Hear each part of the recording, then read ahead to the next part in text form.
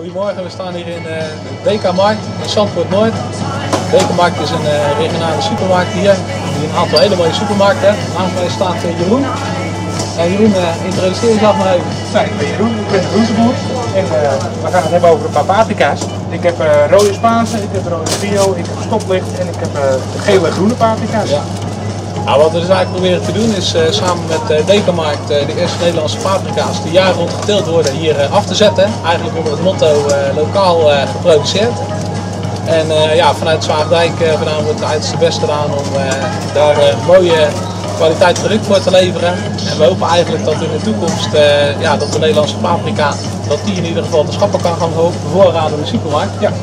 En uh, ik denk dat Jeroen uh, ja, in principe ook blij is met de kwaliteit. Kan je er wat van, uh, van zeggen? van wat je binnenkrijgt van materiaal?